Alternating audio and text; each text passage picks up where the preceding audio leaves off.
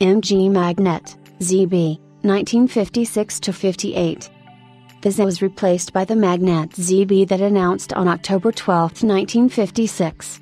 Power was increased to 64 horsepower, 48 kilowatts, fitting 1 plus 1 half N, 38 mm bore carburetors, increasing the compression ratio from 7.5 to 8.3, and modifying the manifold. The extra power increased the top speed to 86 miles per hour, 138 kilometers per hour, and reduced the 0 to 60 miles per hour, 0 to 97 kilometers per hour, time to 18.5 seconds.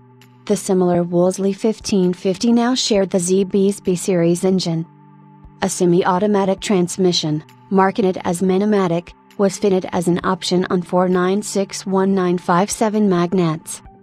Varitone model featured larger rear window and optional two-tone paintwork. Using a standard Pressed Steel body shell, the rear window opening enlarged in the Morris Motors body shop, Cowley, before painting.